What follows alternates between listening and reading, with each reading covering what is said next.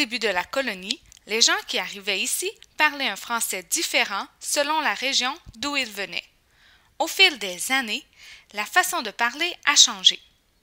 Pour ceux qui sont nés en Nouvelle-France et qui n'ont jamais vu la France, ont appris un français canadien. Et si le français parlé emprunte des mots aux Amérindiens, c'est parce que les Amérindiens ont montré des techniques bien adaptées à la colonie. Pour ce qui est de la religion, en Nouvelle-France, tous les habitants sont catholiques. L'Église est au cœur de leur vie religieuse. Les gens vont à la messe le dimanche et les jours de fête. Ces cérémonies religieuses font partie de toutes les célébrations. Les événements qui marquent la vie familiale et la vie publique sont aussi célébrés à l'Église.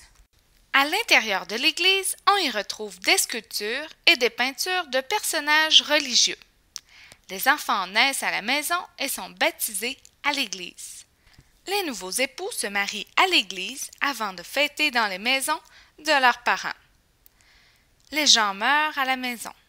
Le prêtre dit une dernière messe pour les défunts avant de les enterrer dans le cimetière près de l'église.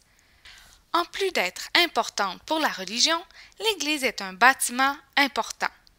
On construit l'église sur un terrain plus élevé près d'une croisée de chemin sur le domaine du Seigneur. L'église domine le paysage et c'est le plus grand bâtiment de la seigneurie. Le premier bran de l'église est réservé pour le Seigneur. À sa mort, le Seigneur sera enterré sous son banc. Tous les habitants de la seigneurie se retrouvent à l'église le dimanche. Le village grandit autour de l'église pour offrir d'autres services aux habitants des campagnes. Après la messe, on se retrouve sur le perron de l'église pour discuter ou entendre les dernières nouvelles. Si le gouverneur et l'intendant ont des ordres ou des règlements à faire connaître, ils demandent au capitaine de milice de les annoncer à la sortie de la messe.